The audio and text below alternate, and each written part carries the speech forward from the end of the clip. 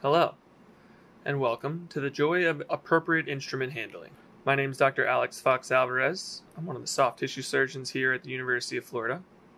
And I'm going to go over just some very basic walk before you run instrument handling techniques to kind of put it in your mind now so you guys start to develop good habits while you're dissecting an anatomy and any other opportunities you have to use these fine surgical instruments. So, let's get started.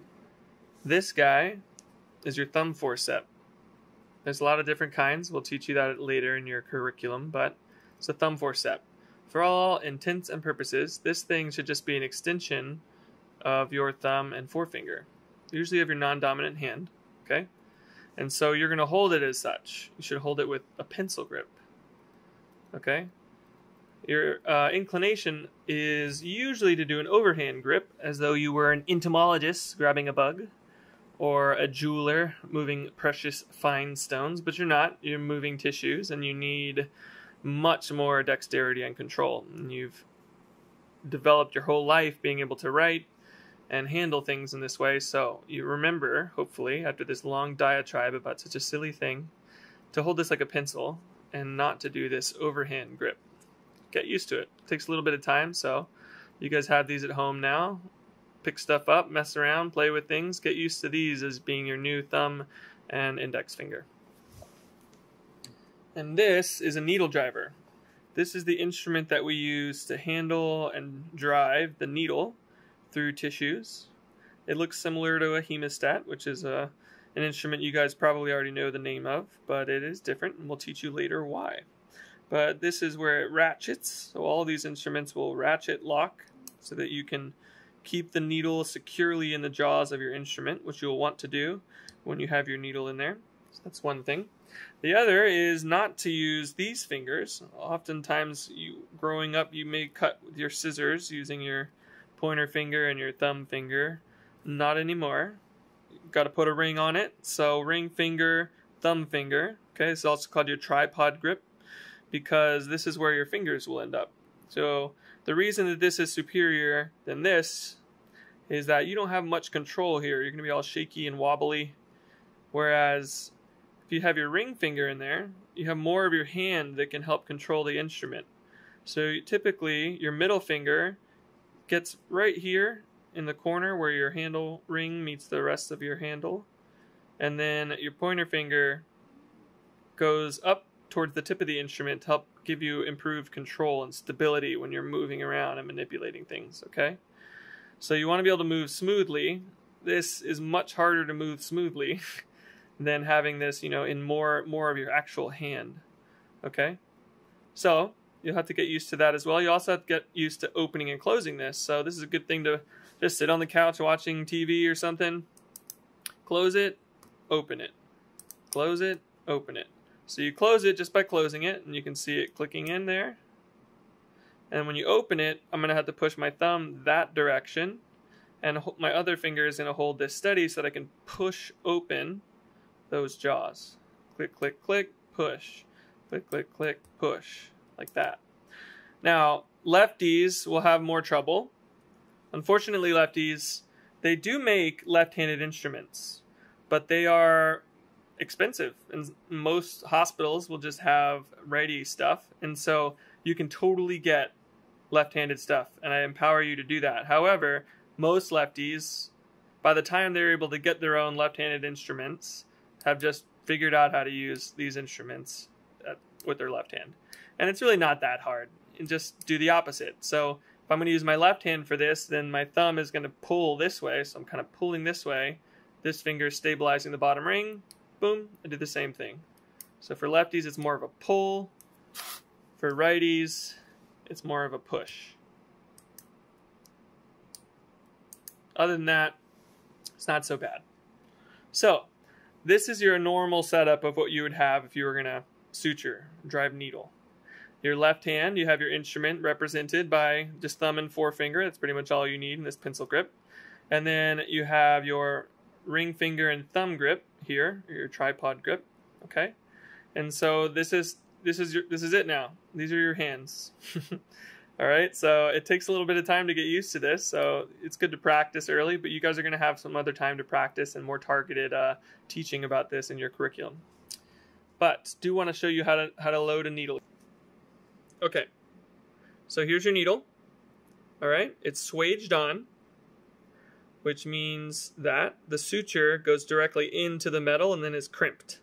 So there's no eyelet on it like you would see in, you know, a sewing needle, for example and that's to help it helps decrease resistance and drag, less tissue trauma that way. And then this, of course, is the tip, right? And it's sharp by design, so you got to be careful. You don't want glove punctures, okay? This is why we don't we try not to handle the needle that way if we can help it. And so you never want to grab the tip of the needle or the swaged part because you don't want to damage either of those because those are kind of very important bits of the needle and suture working together.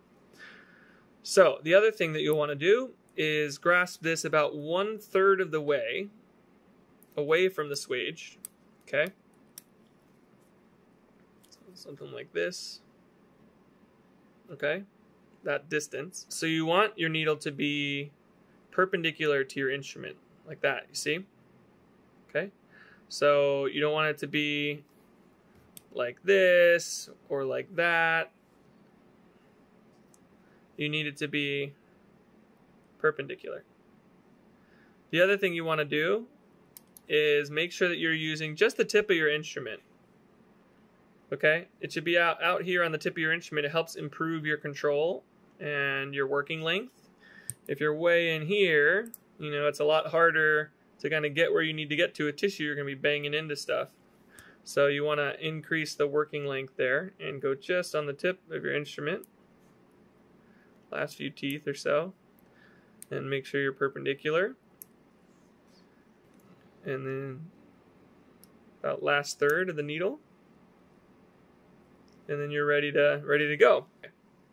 And so when you're using these for suturing, you got your left hand pencil grip or non-dominant hand pencil grip, and you've got your dominant hand with your needle driver with ring finger and thumb, and then middle finger is going to rest right here in kind of that corner, and then your pointer finger can help you kind of guide where you need to go. So you've got your needle inside of your instrument, about a third of the way away from this end here, two thirds from there. It gives you enough room to put tissue on this needle as you kind of pass it through the body layers.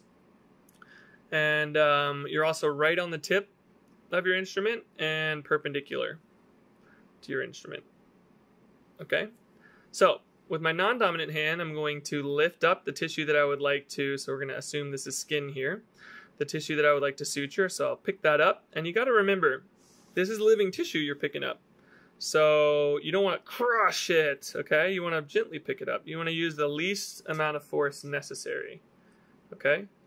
Least amount of force necessary to really achieve whatever it is that you want to do. So you got to be very smooth about things. All right, so I'll lift up the tissue that I want, and then my needle, ideally, is going to start perpendicular you know, I'm going to point straight down into that tissue so the tip's going straight down.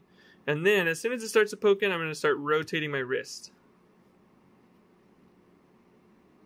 Okay, so you can see that there. So this is where you don't want to go run and grab this. This is where you can injure yourself, okay, because it's stabilized over here. You need to grab this with your thumb forcep. And then you can either re-grab it, you can either pull out with your thumb forcep or re-grab it with your needle driver since it's a bit of a more secure hold and then pull through. And then your needle driver can help support the skin or tissue as you pull through. Now, this is where I feel like it's appropriate if you need to make fine adjustments. You can use your fingers, but make sure that you don't poke needle and you're very careful. So I want that again, the tip at 90 degrees, right where I want it. And I'm going to come straight across. Make sure that you lock your box lock. So that means even if I took this out, the needle is still secure. That's why those these locks, the ratchet's there, okay? So again, I got my ring and thumb finger grip. I'm going to pick up the tissue immediately across from it, and I'm going to stab essentially 90 degrees, but it's coming up from the bottom, okay? So I'm still stabbing directly into that tissue, straight into it. So, you know, if I could peel the skin back for you to see, I'm coming into it just, you know, straight into it like that. But when it's pulled up that way, I'm stabbing into it like that, okay?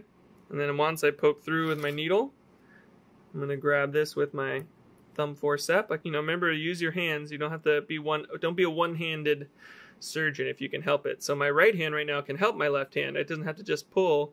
It can help by oh, all right, I'll help hold the tissue back there for you, friend. Yeah, teamwork. Okay, so now you're ready to tie your first knot, and we will teach you guys way more detailed about knot tying later in your curriculum. But to give you an idea, the needle driver is also used for that. And so you will pull the suture all the way through so that your tag's not crazy long and so that you guys can preserve your suture and uh, keep practicing, okay? And then you're going to make a square knot.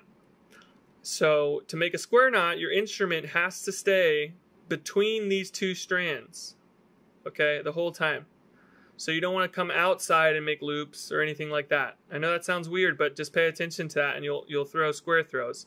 Square throws are a nice and secure knot. Granny knots can come slipped, so that's how patients can bleed after surgery. So you want to keep your instrument between these two strands. So you loop it around one time, and then you grab the end, and then lock it, and you pull it through, and switch directions of your hands. So now your left hand goes away, the right hand come towards you and then I'll open my instrument and I'll do the same. So remember, come between this suture and that suture, between them. You don't want to come out here from the back side and do that. That's not that's going to throw a granny. You want to stay between the two always. So, and between the two. And that's how you throw a square knot. Stay between the two. Okay? So I'll show you again from this angle. It's always going to stay between the two strands. There switch sides with my hands, wrap again. I'm still between these two. Pull it down. So I'm saying between these two, meaning I don't want you to come or behind this to make a wrap and then get it because that's going to make a granny throw. Okay, so you always want to make sure that you're just between those two when you're doing those. Okay, and then the last kind of neat thing to learn for some basic instrumentation is these are the scissors that we use to cut sutures. Some people call them suture scissors, some people call them OR scissors. I wouldn't recommend touching the sharp bits like I am now. You don't need to do that. But you'll see that it has a sharp side and a, a more blunt side, okay? And that the blunt side is thicker than the sharp side kind of comes to a point. So if you want a long tag, uniformly long tag, so like for skin, you'll put your scissor, same grip, okay? Ring finger, thumb. And you'll say, all right, I want a long tag. So you get your scissors like you're going to cut, you rotate, and then your tag is going to be as, as long as this is wide, which is good for skin sutures, okay? That's how you can control the length of that. So, um, you know, the back of my blade's kind of at the knot level, and then I'm going to have a nice tags when I cut it that, that's that short. So normally I would cut both tags, but um, I want to show you the way to make a short tag is to do the opposite. So I flip it. So rather than having the thicker side down, I flip it in my hand so the thin side is down.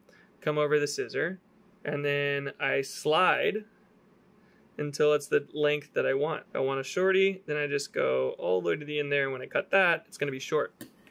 So you can see the difference between these tags. Okay, this was my short tag that I used the narrow side for. This is my long tag. So when you need to make a long tag, go over, rotate, cut it for the long side. When you need to make a short tag, you can rotate, put the skinny side down, and slide until you know you got what you want. Those are the big basic things. And so I would say don't forget your pencil grip. This is the thing that we see you guys most often forgetting and doing this because for whatever reason, it's something similar to what you've done. But you can imagine if you were trying this, my elbow's up in the air, it's uncomfortable, my shoulder's tired, versus this is much more controlled, okay? You should be kind of standing at the OR like a T-Rex with your elbows in, straight, tall, back, you know. You don't want to develop bad habits now that are going to cause you, um, you know, undue strain and, and injury. And the other thing is to remember to use your ring finger and thumb, okay? It's called a tripod grip. Um, you may hear of some surgeons palming, okay? And so what, what we call palming these days is typically our thenar grip, okay? So rather than having fingers in the holes there, we hold it in our palm, and our pinky kind of holds this end. Every our fingers kind of hold this end as they need, and then we use the thenar eminence, which is kind of this thick part of our thumb here, to push open the box lock. Okay, so you're going, you're holding this steady with the fingers, guitar fingers, and then my thenar eminence, I'm just going boop to pop that open, and we do that because it's a little bit more efficient. Close it like, you know, same way. So this is something you can practice on the couch too if you really are interested in surgery. You know, practicing that thenar opening and closing. Okay. So when, that just speeds us up a little bit. Okay. Well, that was the joy of appropriate instrument handling, and I hope that you enjoyed yourself. Uh, I encourage you to practice at home. You can suture all sorts of stuff the models that you have. You can order a model online if you'd like, like one of these from Amazon. They're pretty cheap. I think Surgery Club may have some as well. Um, or you can suture things like banana skin, um, citrus skin. There's all sorts of things you can practice with. So go for it and enjoy. Develop those good habits early. It's very important.